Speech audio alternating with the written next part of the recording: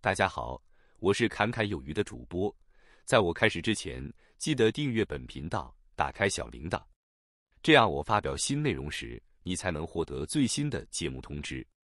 过去的二零二三年，全球半导体产业可谓是相当的不景气，很多的企业都纷纷开启了减产、裁员、降薪等一系列降低成本压力的措施。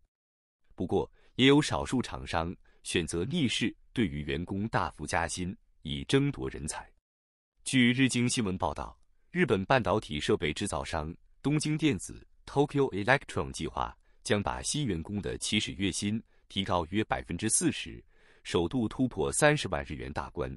这也是东京电子近七年来首次为新员工加薪。报道称。东京电子希望通过提供与国外同业看齐的薪资来争取人才。该公司将把所有新员工薪资调高八万五千五百日元。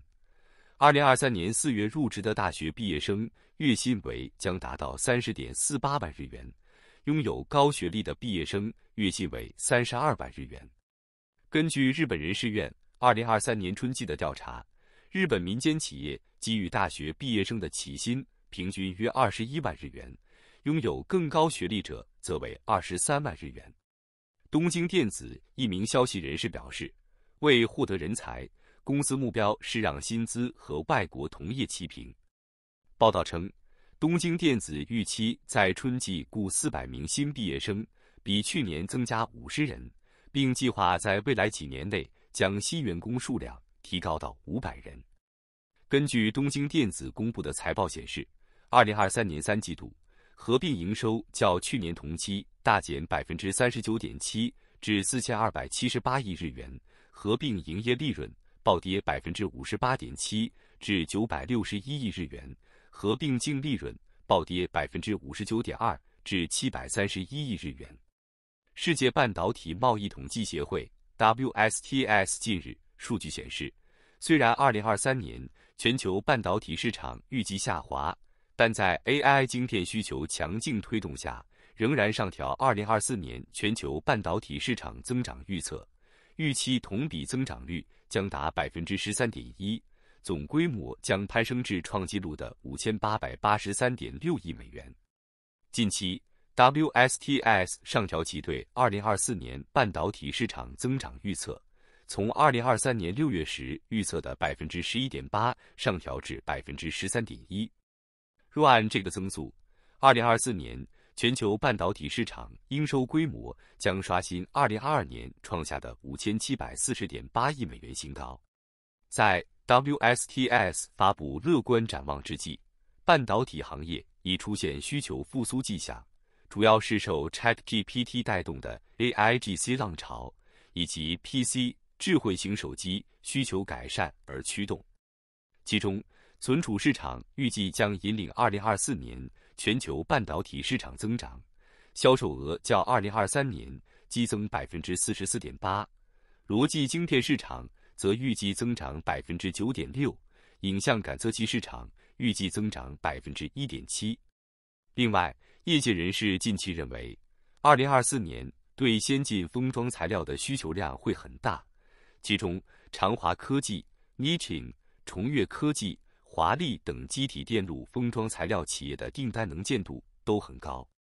日月光日前宣布，其子公司 ASE 将收购其全资子公司 ASE Test 的设施，以提高封装产能。行业观察家表示，日月光可能正在扩大其先进封装产能，以满足2024年不断增长的需求。与日月光合作密切的供应商指出，该公司一直在下订单。为人工智慧相关应用的封装和测试提供支持。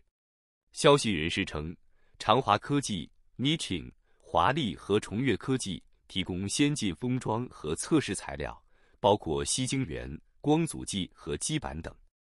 供应商的订单也排到二零二四年底，他们将于二零二四年年初开始与客户就二零二五年的订单进行谈判。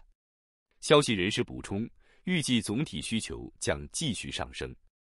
华丽公司表示，AI 晶片供应商都在争相确保先进封装产能。目前，该公司已获得主要客户的材料订单。该公司十一月销售额同比增长百分之二十三，环比增长百分之十三。Mitchin 表示，对支援高效能运算 HPC 的散热器需求一直在增长。崇越科技则加大了对客户位于高雄的先进晶圆厂项目的支持力度。该公司表示，二纳米制造工艺将增加 EUV 光阻剂。坯料和矽晶圆的出货量。此前，根据多方业内消息源透露，台积电二零二三年十二月给研发团队颁发了特别贡献奖，肯定了员工的辛劳工作。有报道称，研发团队所有成员都获得了奖励，六千元新台币起步，并根据成员的贡献有所不同，最高达到了十万新台币。台积电回应称，公司一直秉持。员工是公司最重要的资产的理念，致力于给予员工一个在同业平均水准以上的薪酬与福利，在兼顾外部竞争、内部公平及合法性的前提下，提供多元并具竞争力的薪酬制度，并秉持与员工利润共享的理念，吸引、留任、发展、激励员工。台积电今年研发投资稳定成长，公司统计。二零二二年研发支出为一千六百二十二亿新台币，同比增长百分之三十点一。二零二二年研发总支出占当年度营收之百分之七点二。截至二零二三年六月三十日，台积电统计，公司研发组织的员工数量约八千七百人，其中一千八百九十位拥有博士 （PhD） 学位。不过，业内人士认为，台积电本次颁发的特别贡献奖。暗示着台积电在二纳米工艺上有了新的突破。